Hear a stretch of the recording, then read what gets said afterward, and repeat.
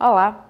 O Notícias da Câmara desta terça, dia 12 de março, começa falando sobre previsão do tempo. E os natalenses acordaram com muita chuva nesta manhã. O responsável foi um fenômeno climático chamado de Zecite, Zona de Convergência Intertropical. De acordo com a Emparne, o maior índice de água foi registrado nos bairros Pajuçara, 31 milímetros, e ainda Guarapes, 1 e 2, cerca de 10 milímetros cada. Nos demais bairros de Natal, as chuvas foram em menor quantidade, ficando abaixo deste número. A previsão é de chuva sobre o litoral leste e interior do estado e na capital potiguara a expectativa é de sol com muitas nuvens e períodos de nublado, com chuva a qualquer hora. E na manhã de hoje, servidores estaduais se reuniram com representantes da Secretaria de Planejamento do Rio Grande do Norte. O executivo apresentou um cronograma de ações para obter renda extra e então colocar em dia a folha de pagamento da categoria. O executivo ainda deve os salários de dezembro e novembro de 2018, além do 13º salário de 2018 e ainda de 2017. E a matéria completa você assiste no Câmara Repórter às 8h30 da noite. E o ITEP está com uma novidade. O agendamento eletrônico para emissão de carteiras de identidade, antes permitido apenas às quintas, agora pode ser feito em qualquer dia da semana. Os horários também foram ampliados. Na Central do Cidadão do Alecrim, o funcionamento é das 7 da manhã às 5 da tarde. No Shopping Via Direta, o funcionamento é das 9 às 19h20. Na Zona Norte, o horário é das 9 da manhã às 6h20 da noite. E o agendamento é feito por meio do site www.itep.rn.gov.br. E alguns contribuintes ainda têm muitas dúvidas sobre a declaração do imposto de renda e poucas condições de recorrer a um contador. Pensando nisso, uma universidade particular do Estado está ofertando o serviço de forma gratuita. A iniciativa é boa para quem precisa do atendimento e melhor ainda para alunos da instituição que têm a oportunidade de colocar os conhecimentos de sala de aula em prática. Dia 30 de abril se encerra o prazo para a entrega da declaração do imposto de renda. Por isso, para orientar os contribuintes, a UNP, em parceria com a Receita Federal, estão oferecendo diversos serviços à população relacionados a essa entrega da declaração do imposto de renda. E para falar sobre o assunto, eu converso com o professor Itamar Diniz, ele que é coordenador do NAFRE, o Núcleo de Apoio Contábil Fiscal. Professor, é, como é que funciona esse serviço? O serviço ele funciona de preenchimento orientação e se o contribuinte ficar interessado, a gente também faz a transmissão da declaração do imposto de renda pessoa física 2019, tanto na unidade da Roberto Freire, como também na unidade da João Medeiros, na Zona Norte. Esses serviços acontecem em que dias e que horários? Vamos lá. Na unidade da João Medeiros, na Zona Norte, funciona segundas e terças-feiras, das 17 às 19 horas. Na unidade da Roberto Freire, funciona segundas e quartas, das 17 às 19 e terças e quintas, das 10 horas da manhã até o meio-dia. No caso, são os próprios alunos que realizam as atividades, oferecem o serviço? O Núcleo de Apoio Contábil Fiscal da Universidade de Potiguar, em parceria com a Receita Federal, ela é feita como um projeto de extensão para que o aluno ele possa ter a vivência profissional cada vez mais ativa. Então, o que é que acontece? Quem transmite, quem preenche, quem faz a declaração são os nossos alunos, claro, sobre a supervisão de um professor que é um contador, que é um profissional habilitado, que tem experiência na área e que, de fato, também conhece qual a legislação e deixar um detalhe importante. O nosso aluno ele também está capacitado por nós professores que participou de vários minicursos, de palestras sobre declaração do imposto de renda à pessoa física. Dia 30 de abril se encerra o prazo para a entrega da declaração. Infelizmente, muita gente deixa para entregar essa declaração em cima da hora, né? Por isso que nós já estamos aqui de prontidão Unidade Roberto Freire e Unidade João Medeiros, da Universidade de Potiguar, está de portas abertas para que a gente não deixe o nosso contribuinte enviar a declaração de última hora. Gente, o prazo está correndo, eu sei que é só 30 de abril, mas corre, nos procure, leve a sua documentação para que a gente possa tirar a sua dúvida e deixar o contribuinte entregando no prazo sem pagar multa. Melhor tudo de graça, né? De graça, é um serviço para a população aqui de Natal que a UNP está oferecendo.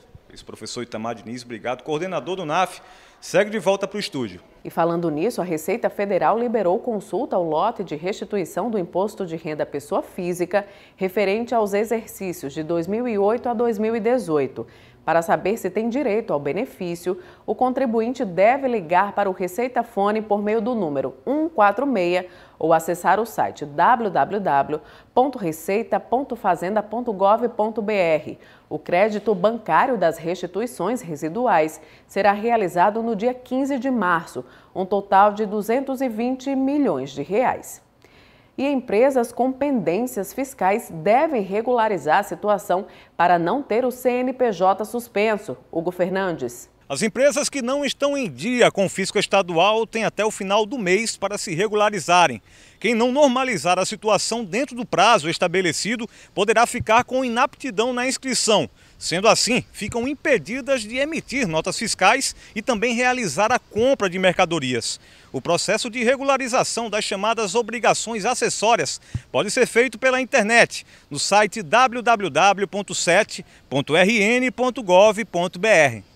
Hugo Fernandes, de volta para o estúdio. E olha só, nos dias 13 e 14 acontece um multirão de negociação. A iniciativa é da Defensoria Pública do Rio Grande do Norte junto ao PROCON.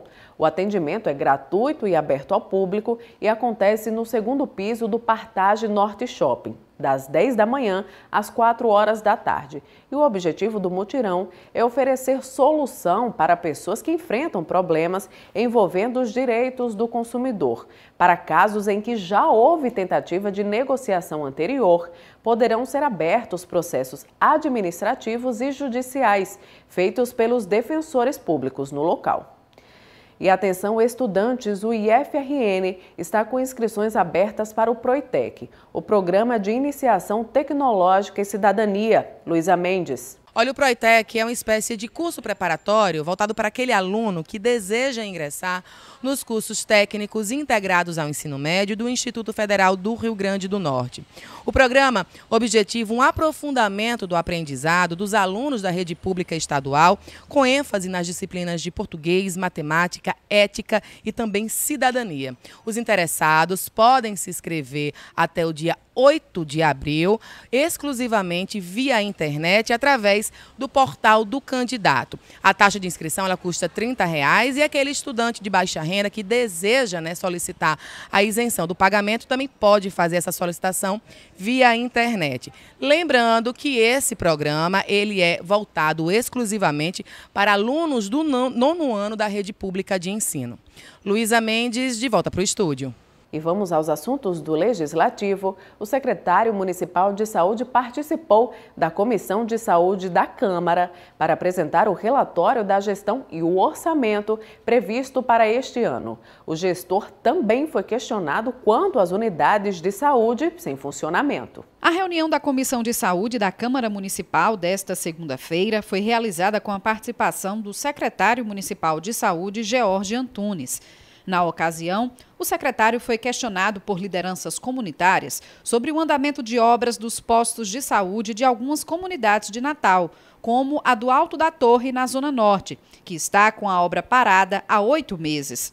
O secretário anunciou um prazo de 30 dias para retomar o serviço. Já fiz o contato com a empresa que era a segunda vencedora, já estamos cancelando o contrato com a primeira vencedora que já desistiu e os 30 dias de prazo é o prazo contratual para se ocorrer com todo um processo, com toda a documentação, se ajustarem os preços e nós iniciarmos a obra. A gente necessita muito dessa obra devido às condições de não ter atendimento da comunidade.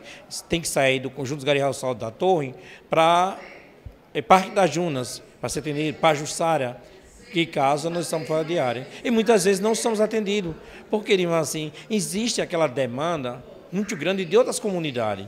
O vereador Preto Aquino comentou a participação do secretário para esclarecer as demandas da secretaria. É importante porque as comunidades se fazem presente, querem uma resposta de imediato e estão aqui ouvindo diretamente o secretário aquela resposta que, quer, que realmente cada um quer ouvir. A longo prazo, a curto prazo, se há possibilidade, se não existe possibilidade ou se realmente não tem da parte dele é, possibilidade nenhuma de, por enquanto, sanar os problemas oriundos de cada bairro, de cada comunidade. Já o vereador Cícero Martins fez questionamentos sobre as carências do atendimento odontológico, como a falta de próteses dentárias e o mau atendimento do serviço de urgência na Ribeira. O CEL, chamado Centro de Especialidade Odontológica, é um projeto do governo federal que implanta prótese em vários pacientes dos municípios. É, aqui próximo, diversos municípios têm. Natal, no CEL, aqui, no Centro de Especialidade Odontológica de Natal, não existe prótese. Você já imaginou? Uma demanda um município que tem cerca de quase 900 mil habitantes nessa média. Não tem uma pessoa fazendo prótese, não é? que é pago pelo governo federal por falta de um simples contrato. Então é inadmissível. Nós precisamos melhorar ou criar o nosso laboratório de prótese, isso aí é urgente, é? mas é uma demanda que precisa de recursos financeiros, talvez nem tão um volume tão grande, eu acho que dá para fazer sim, ainda dentro desse ano. É provável que até o meio do ano eu já esteja com o projeto e com alguma coisa iniciada. Na sequência, o titular da SMS e a secretária adjunta de saúde de Natal, Terezinha Rego, fizeram a apresentação do relatório do último quadrimestre do ano de 2017, quando a gestora era Maria da Saudade de Azevedo. O relatório apontou que, naquele ano, foram gastos na saúde pública municipal mais de 656 milhões e 624 mil reais, sendo mais de 321 milhões de recursos próprios do município, o que representa um percentual de 27% da receita municipal destinada à saúde, acima do exigido pela lei. O secretário ponderou que, em 2017, a situação financeira ainda era confortável para os investimentos e se preocupa com a situação atual. Em 2017 ainda existia uma situação relativamente confortável do ponto de vista financeiro. Nós tínhamos recursos federais ainda em sobra e foi possível ao secretário da época executar muitas dessas obras, mas a situação financeira é grave. Então nós temos duas situações gravíssimas mão de obra para colocar nessas unidades para funcionar e recursos financeiros para custear. Então, o trabalho meu, a partir de agora, está sendo buscar a solução para esses dois problemas. Ampliação da nossa rede, agora, no momento, não. Nós vamos colocar para funcionar o que nós temos, vamos recuperar as unidades que estão mais desgastadas e vamos tentar mudar um pouco o modelo assistencial para alcançar essa população que está desassistida. O presidente da Comissão de Saúde, vereador Fernando Lucena, fez uma avaliação da apresentação do relatório e disse que vai atuar na cobrança da efetivação do cartão SUS. É só essas notícias, a redução nos, no, no, no, nos repassos federais, a precarização, praticamente o fim do mais médico. Você imagina Natal perder isso, né? quantas pessoas esses médicos iriam atender na unidade básica de saúde? O concurso é apenas uma reposição das pessoas que se aposentaram. Então, a gente vê é um quadro muito difícil. Além disso, as prefeituras do interior é, que compram ambulância ficam mandando as pessoas para Natal. Hoje dá com torno de 20% a 25% é, dessas pessoas estão tomando o lugar do natalense, que paga os seus impostos e mora aqui. Então, nós vamos defender é, que o cartão, o cartão SUS seja realmente uma política é, para valer, para que você usou o cartão SUS a prefeitura do qual você mora pague a conta. E vamos ao giro de notícias. G1RN, mulher de 20 anos é encontrada morta com sinais de estrangulamento dentro de casa em Serra do Mel. No minuto, polícia prende no Rio dois suspeitos de matar Marielle Franco. Tribuna do Norte. No RN, 96% dos adolescentes mortos em 2018 não tinham processos judiciais. Portal no ar, empresa espanhola vai investir um bilhão de reais em parque eólico no RN. Agora, RN, governo prorroga a situação de emergência pela seca por mais 180 dias. Grande ponto.